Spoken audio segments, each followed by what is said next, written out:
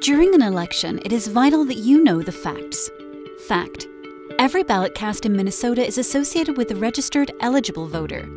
All voter registrations are verified with records from DVS, driver's licenses, the Social Security Administration, and other data.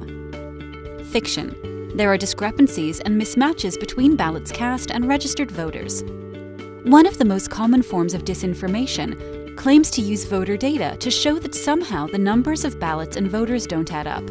These claims are entirely unverified, are often based on misuse of data, and are intended to undermine faith in our election system. Fact Ballot counting machines are tested, verified for accuracy, and certified before every election.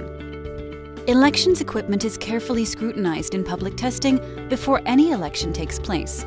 This testing is required under law and is open to the public for observation. Fiction Voting machines were faulty, hacked, or compromised. There is no evidence showing that any voting machines were faulty, hacked, or compromised in any way in 2020 or any other election.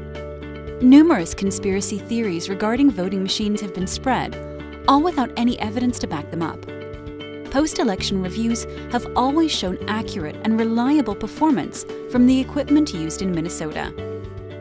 Fact Around 80% of eligible Minnesotans voted in the 2020 election.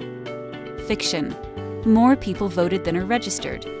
Voters can only receive a ballot once they complete the voter registration process. Other claims about the number of votes, registered or eligible voters, are entirely false. Learn the facts. Find out more on our website today.